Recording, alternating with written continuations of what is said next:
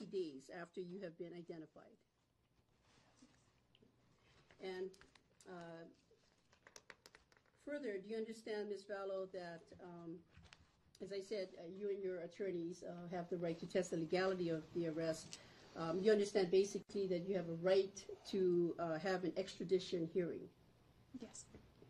And do you understand that um, you have a right to have this extradition hearing, and this is to determine whether or not you are the person, in fact, that is named in the warrant that has been uh, sum- uh, requested by the state of Idaho. Yes. And at this time, I, uh, let me address uh, either yourself or your attorney. Um, Will uh, Ms. Vallow be uh, waiving her right to extradition? Uh, No, Your Honor, she is uh, exercising her right to an extradition hearing. And And when are you uh, requesting that we have this hearing? Uh, Your Honor, I'm- I'd like to be heard on bail, and that will determine the answer. But the short answer is, if the court keeps bail as it is, we'd like it to be as Monday, as soon as possible. Uh, If the court is going to lower bail, um, then it can go further out, such that she can actually make it. And so this leads into your Which- request to lower bail? It leads to my request for bail. Your Honor, um, my understanding is this is a warrant from an Idaho court. It's not a governor's warrant. The application from the state says that they uh, intend to seek a governor's, governor's warrant, or they might seek a governor's warrant, I think, but uh, they don't have one yet. This was issued by Judge uh, Edding- Eddins. Right. So as such, Hawaii law governs bail, not Idaho law, and that's HRS 832-14 and 832-15. So I, I would ask to be heard as to bail because we are sitting here uh, with uh, a couple felonies and misdemeanors and a half a million dollar bail. Um, and the points I want to make, they just follow, they just track the bail statute. But the points I want to make is, first of all, uh, Lori has a residence on Kauai. Her husband lives on Kauai. She remained in Kauai since Mr. DaCosta made contact with the police in January. They've known she was here. Mr. DaCosta's been in touch with them. I have the emails. Um, police knew she was represented by counsel on Kauai since January 30th uh, of this year as well. Um, she made a trip to Maui on vacation, but she left uh, she informed Mr. DaCosta, and he remained willing to produce her as soon as the police wanted her. He's been in contact with the police throughout this, again, offering to produce her. Um, instead, you know, she was arrested, and media was calling us um, uh, all day. It seems like it was maybe a made-for-media event at taxpayer expense because, again, Mr. DaCosta offered to the police on January 30th, several police, that he would just simply turn her in. Um, she doesn't even have a passport. And, and as to the charges, as the court noted, a couple things the court noted today that were, were, were I guess, prescient and related. First of all, there's no life in prison or death penalty in this case. So she has a right to bail. And again, that should be set by this court under this court's bail standards. The last case, I just heard the court affirm a $1,000 bail on a misdemeanor. We've got two misdemeanors here and a couple of felonies. Um, under the Idaho statute, it appears that the maximum penalty for any of those felonies is like 13, 14 years.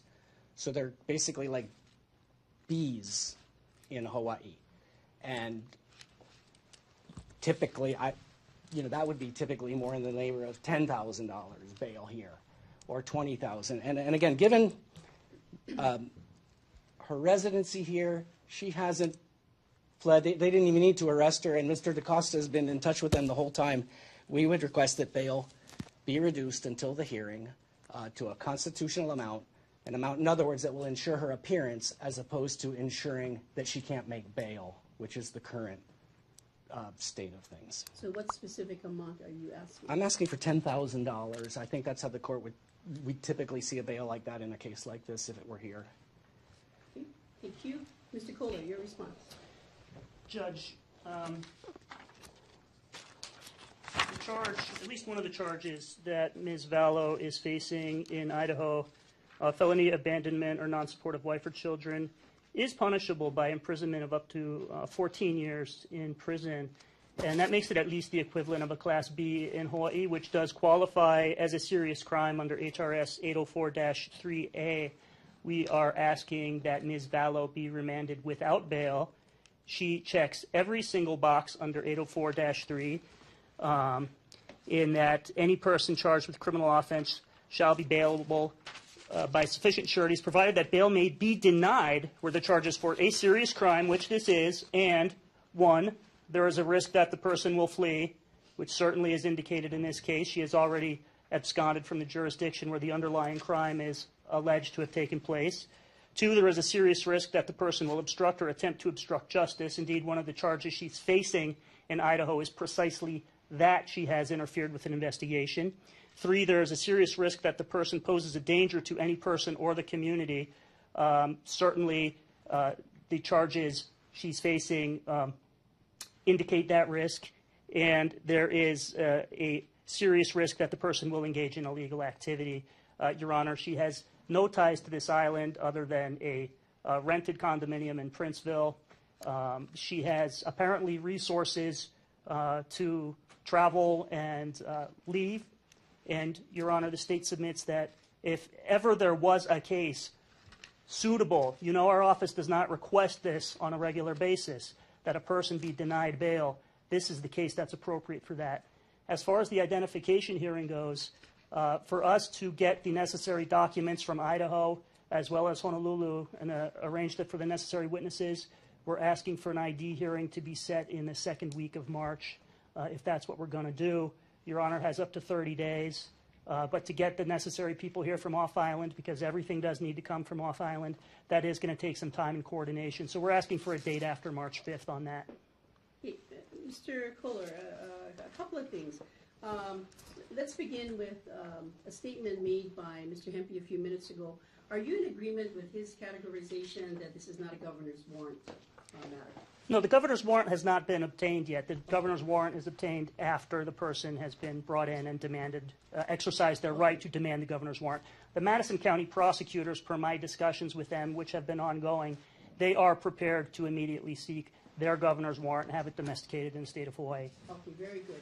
Uh, Now, um, Mr. Kohler, the, the, I guess the most important question I have is, why would it take uh, three weeks to, to get the, um, the witnesses or other means of identification so that we can go forward with the hearing? Because we need to get um, fingerprints from Idaho sent here. They need to be compared in Honolulu with um, Hawaii fingerprints that are on file for Ms. Vallow. They need to be, the results of that analysis need to be checked by another analyst in Honolulu, and then we need to bring the witnesses over here. Uh, and particularly if Your Honor is inclined to apply, uh, we note that the rules of evidence do not apply at identification hearings, but if we are going to have to comply with those rules, then we need to make sure we actually bring the live witnesses here, and that requires coordination with a number of individuals who, and we have been working on that and advised them as soon as we learned this morning that Ms. Vallow intended to con- contest her extradition, we began making those arrangements. But we don't want to get in a situation where we're, we commence next week and then we have to continue because somebody was unavailable, Judge. We want to be able to get it all done at once. And we think, we think that's reasonable in light of the circumstances. Okay, Mr. Hempey, your response? Um, Your Honor, I didn't, I don't think I heard anything that goes, that takes three weeks. And we're concerned with her in custody, by the way, for another reason. Yesterday, when she was arrested, uh, and we, my office was calling cell block, Mr. DaCosta was calling cell block, and they told him he, she's not here.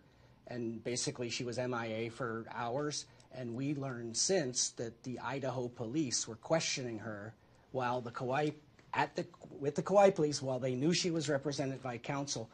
Um, um, it's just another reason to get this done faster. I mean, fingerprints and fingerprint comparisons don't take very long. Um, and, and getting people over here shouldn't take three weeks. Um, and, and, and just in response to the bail argument, she is presumed innocent, and I don't think the state has checked the box of danger to, to the community. They've, they're alleging simultaneously she, she's not with the child, the children, but that she's a harm to them, and there's certainly no allegation that she's a harm to the community on Kauai. Um, so that's my response. Okay. All right, uh, anything further? Either side? Unless Your Honor has particular questions. Uh, no, I don't. Okay. All right. Then, uh, first of all, as to bail, uh, bail is confirmed in the amount of $5 million. As to the hearing, we will set the hearing. Uh, let me just confirm that. Um,